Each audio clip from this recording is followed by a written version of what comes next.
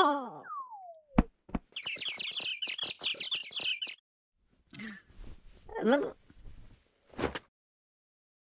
means his veteran Lazy Kings wins. Bye bye.